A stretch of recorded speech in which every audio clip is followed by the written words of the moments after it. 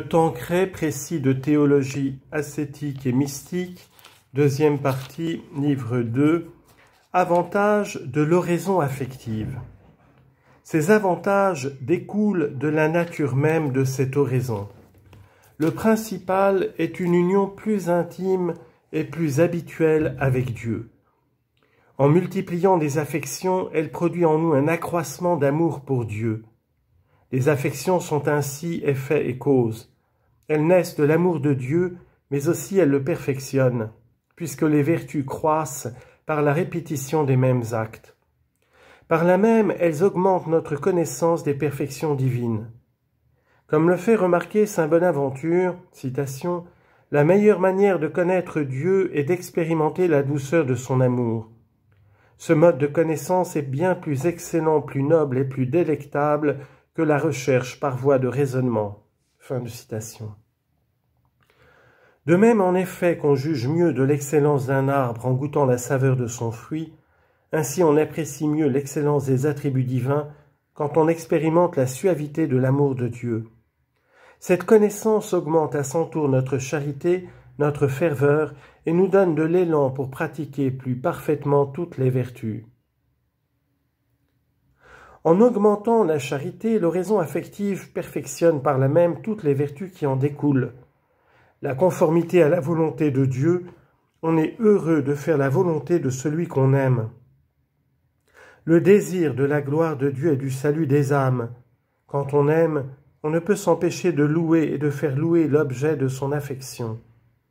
L'amour du silence et du recueillement, on veut se trouver seul à seul avec celui qu'on aime pour penser plus souvent à lui et lui redire son amour.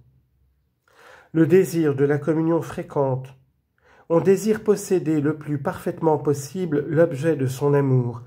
On est heureux de le recevoir en son cœur et de lui demeurer uni tout le long du jour.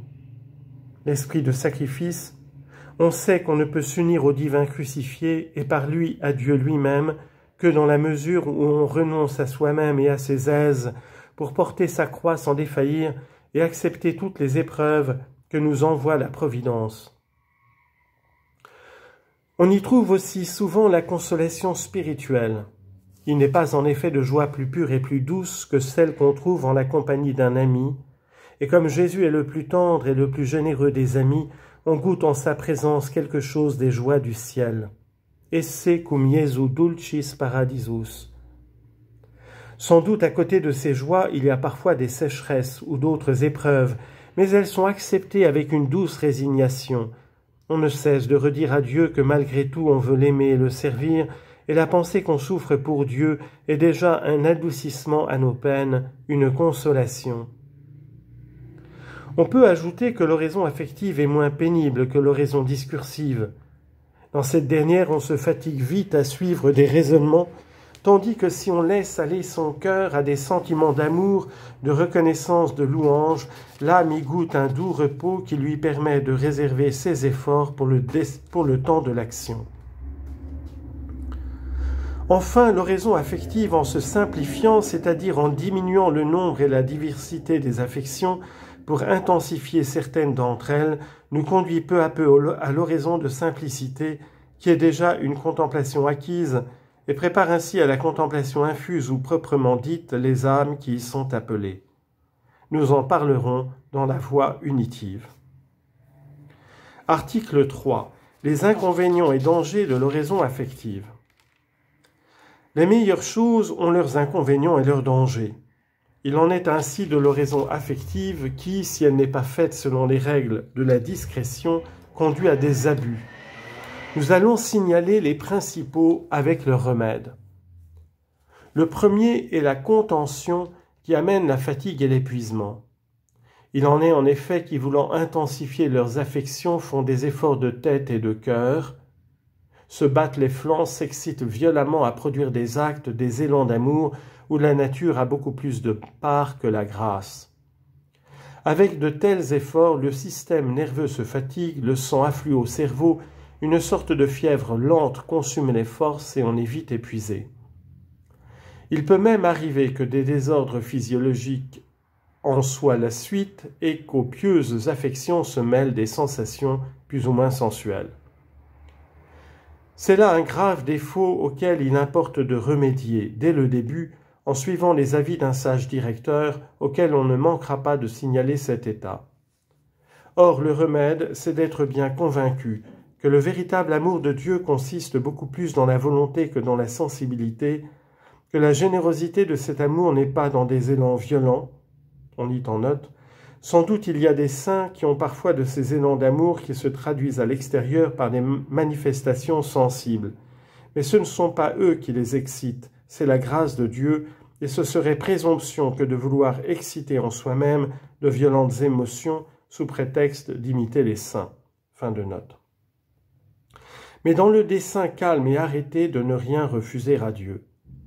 N'oublions pas que l'amour est un acte de la volonté, sans doute il rejaillit souvent sur la sensibilité et y produit des émotions plus ou moins fortes, mais celles-ci ne sont pas la vraie dévotion, elles n'en sont que des manifestations accidentelles et doivent demeurer subordonnées à la volonté, être modérées par elle, faute de quoi elles prennent le dessus, ce qui est un désordre, et au lieu de favoriser la piété solide, la font dégénérer en amour sensible et parfois sensuel, car toutes les émotions violentes sont au fond du même genre et l'on passe facilement de l'une à l'autre.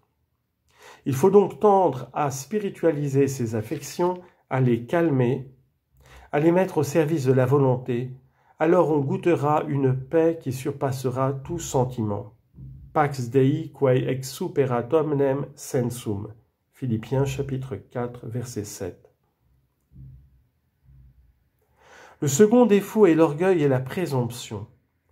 Parce qu'on a de bons et nobles sentiments, de saints désirs, de beaux projets d'avancement spirituel, parce qu'on a de la ferveur sensible et que dans ces moments on méprise les plaisirs, les biens et les vanités du monde, on se croit volontiers beaucoup plus avancé qu'on ne l'est, on se demande même si on n'est pas déjà tout près de cimes, des cimes de la perfection et de la contemplation.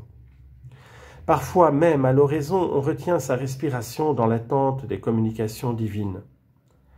De tels sentiments montrent clairement au contraire qu'on est encore bien loin de ces hauts sommets, car les saints, les fervents se défient d'eux-mêmes, s'estiment toujours les pires et croient volontiers que les autres sont meilleurs qu'eux. Il faut donc revenir à la pratique de l'humilité, de la défiance de soi-même, en tenant compte de ce que nous dirons plus tard de cette vertu. Du reste, dans ces sentiments d'orgueil se développent, quand ces sentiments d'orgueil se développent, Dieu se charge souvent de ramener ces âmes à de justes sentiments de leur indignité et de leur incapacité, en les privant de consolation, de grâce, de choix. Elles comprennent alors qu'elles sont encore bien loin du but désiré. Il en est aussi qui mettent toute leur dévotion dans la recherche des consolations spirituelles et négligent leur devoir d'état et la pratique des vertus ordinaires, pourvu qu'elles fassent de belles oraisons, elles s'imaginent être parfaites. C'est là une grande illusion. Il n'est point de perfection sans conformité à la volonté divine. Or cette volonté, c'est que nous accomplissions fidèlement, outre les commandements, les devoirs d'État que nous, les devoirs d'État, que nous pratiquions les petites vertus de modestie, de douceur, de condescendance, d'amabilité, aussi bien que les grandes. Croire qu'on est un saint parce qu'on aime l'oraison et surtout ses consolations, c'est oublier que celui-là seul est parfait qui fait la volonté de Dieu. Ce ne sont pas ceux qui me disent Seigneur, Seigneur qui entreront dans le royaume des cieux, mais bien celui qui fait la volonté de mon Père. Matthieu chapitre 7 verset 21. Mais quand on sait écarter les obstacles et les dangers par les moyens que nous avons indiqués, il reste que l'oraison affective est très utile à notre progrès spirituel comme aux ailes apostoliques. Voyons donc quelles sont les méthodes qui nous permettent de mieux la cultiver.